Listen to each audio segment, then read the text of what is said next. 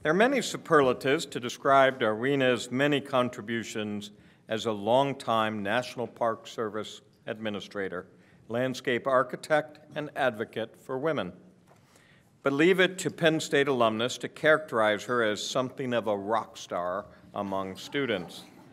From her first job working on Lady Bird Johnson's beautification program in 1965, to her retirement in 2009, to her continuing service to others, Darwina has helped shape the profession.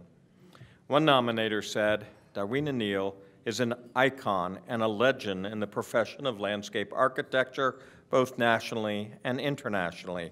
She has spent her adult life both designing and preserving great places for all to experience, and she spearheaded gender equity in our profession, where today, academic departments almost universally educate more females than male students. And Darwina has accomplished all of this as a proud and still very active Penn State alumna. It is a pleasure to present Darwina Neal with the Alumni Fellow Award.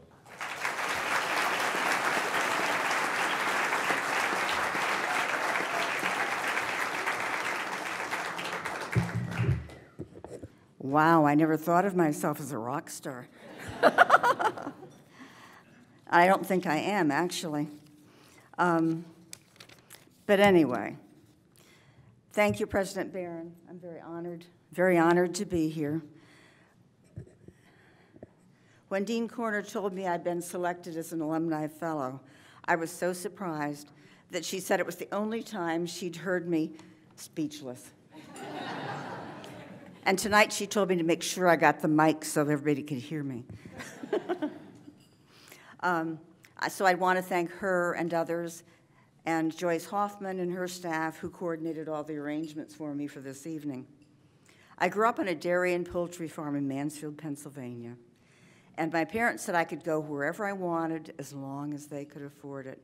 And fortunately, I chose Penn State. So, with their support, plus scholarships, a bank loan, and working summers and holidays, I made it even though I had to go an extra year because I switched from horticulture to landscape architecture. Thank goodness.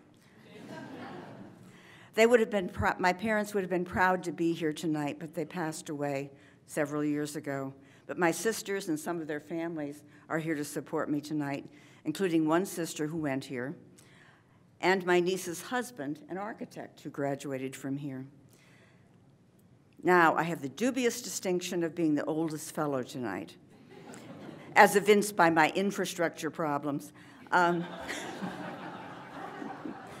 so I've seen many changes. Mine was the first landscape architecture class with two women. My dorm roommate was the first woman in engineering science. My roommates in an apartment were the only woman in her architecture class and the first woman in architectural engineering.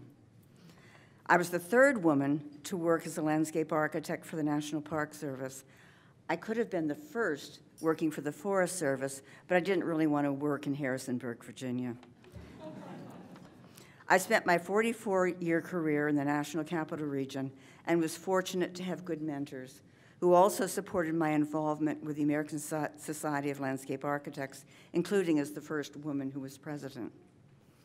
My education at Penn State was an excellent one provided good skills for my Park Service work, as well as for future graduates that I hired, two of whom who are here tonight.